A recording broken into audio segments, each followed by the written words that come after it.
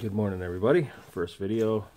I don't have anything to hold the camera really, so I got it kind of like fastened to the wall. And uh, today's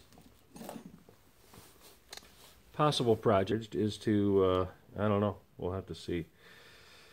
I don't want this to turn into a big, a big deal that's going to take the whole day, soak my whole day up. I got these at a hobby shop. I think they're a single planetary gear reduction up here in the front. And then you got this really nice little motor back here. It's actually fairly torquey and it's it's a nice slow RPM. What I'm thinking about doing with this is I was I was out snowblowing with my nifty snowblower with the new motor on it and um, you know it just it's just such a pain in the butt to stop and crank that handle to move the chute left or right you know? It's just easier to keep moving and I don't want to stop I just kind of want to get done. So phase one deciding whether or not it's uh, worth hacking into and cutting my crank off so that now I, am kind of stuck with either welding it back on or making this work. Or um, there's a second idea that came to me and that is this is a very old drill. It's not really waterproof or anything but I could probably make this work. What's nice about the drill is after I cut the crank off I can chuck right on the uh, existing shaft and I don't have to worry about concentricity or parallax or anything because this this is within a, a fairly small degree is going to you know get this thing so that it's running true and the drill itself isn't going to be oscillating and doing all kinds of weird things. So this here, on the other hand, I have to drill a hole right down the center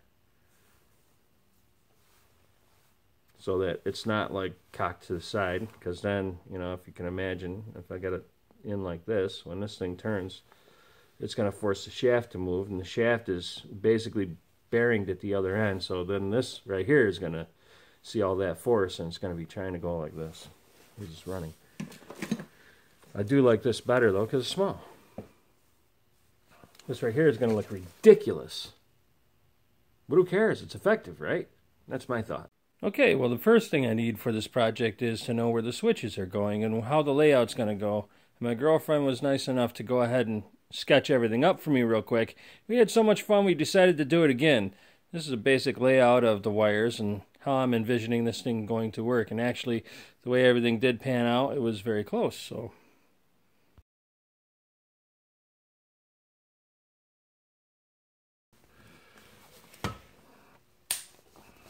give this a try here. See what we've got.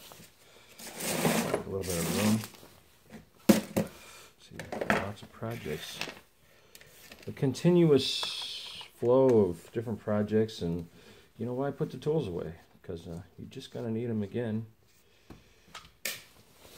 That works. It's a very cold day today. December 22nd.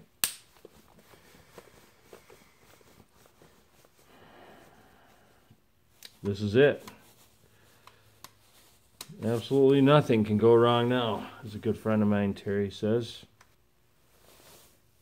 And I guess I'll pull this out here if I can. Try and do this so that we can all see. Where here we go. Here it comes. Look at that. This whole thing is coming out. Okay, so anyways, I had completed the project. Here's my relays. I got everything kind of set up here. I'll unplug one just to show you what's going on here. This is one, this is positive from the drill, although it's irrelevant really. Now, I didn't crimp these. If I can get this thing to focus, you can see I soldered them. I opted to go with the actual um, body on here because it kind of holds everything together. I slotted the plastic to make it kind of accept this plate here. But anyways, trust me, it's on there. And this right here is how I've got it wired.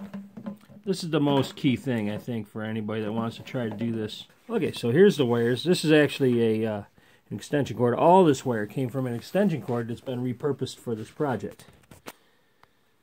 So, got a couple relays. They're 12 volt relays, 40 amps. This is the power feed from the motor. It's just hardwired right into the motor now. There's no switch existing the in the motor. Uh, the the trigger I, is gone. So both of these are going to terminal number 30. Okay. Now these outside ones are triggers that run the coil. Okay, 85 and 86. All right, it doesn't matter which side you use. I chose to use from from this standpoint this side on both of them for the negative side of, of the, the coil. These are grounded when you operate the switch here. You can hear the thing running.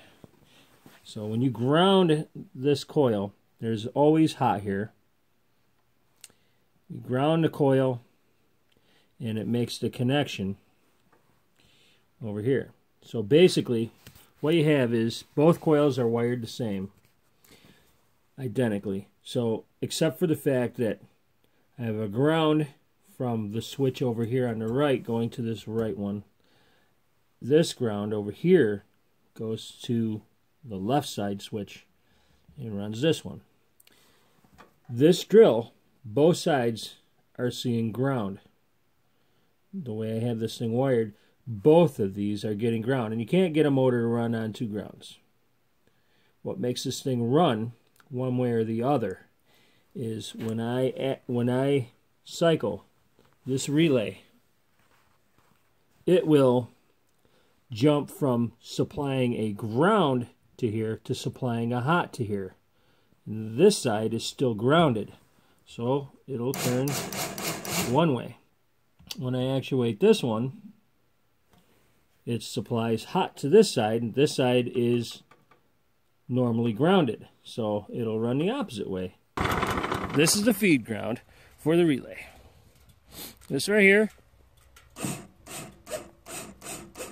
So same thing over here. And what isolates the ground from the rest of the handlebar is this piece of, you know, it's just a tag I cut up. So hopefully she works out for the long haul. If not, what, what, what could I have to replace? A relay? A zip tie?